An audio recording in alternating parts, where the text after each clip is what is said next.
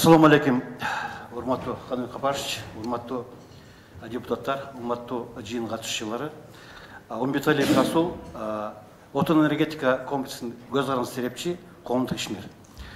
Эми мыного мен баягы кыргыздар жакшы сөз бар.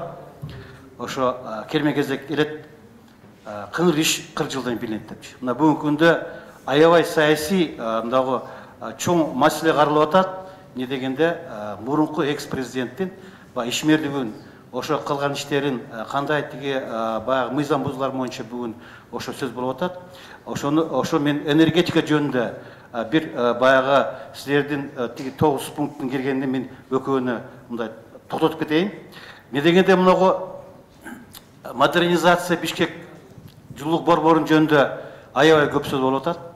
Мен айтып турган нерсе бул чындыгында бул мамлекеттик мамлекеттен бул тапшырма болгон эмес техника тапшырма болгон эмес биринчиден экинчиден проектный сметный документация болгон эмес үчүнчү техника экономик негиздеме болгон эмес и негизги эң чоң долбоор проект болгон эмес ошо негизинде негизинде берде ошо тиги тэц бишкек экиге бөлүнүп бир жагы баягы советтик союздун курулган тэц экинчи жагы кытай эки энергоблок кубаттуулугу үч жүз мегаватт менен курулган эми баягы өзүңөр жакшы билесиңер жыйырма алтынчы январь эки миң он сегизинчи жылы авариядан болгондон кийин сапар исаков менен айбек калиев анан алмаз атамбаев президент баш болуп ошол жерде айтып кеткен модернизация болбосо биз бир миллиарддан ашык зыян тартмакпыз деп ошол жерде айтып кеткен.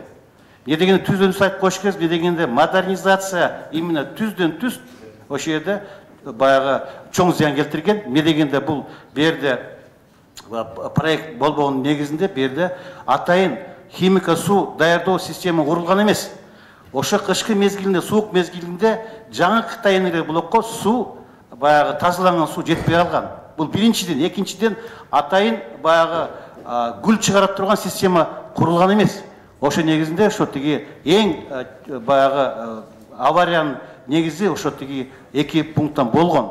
Анан айтып отурган нерсе бул эки миң он жетинчи жылы он жетинчи августта атайын баягы тиги китай компания тб компаниянын өкүлү макелек менен тэцтин директору омуркулов нурлан менен ошол жерде келишим түзүлгөн.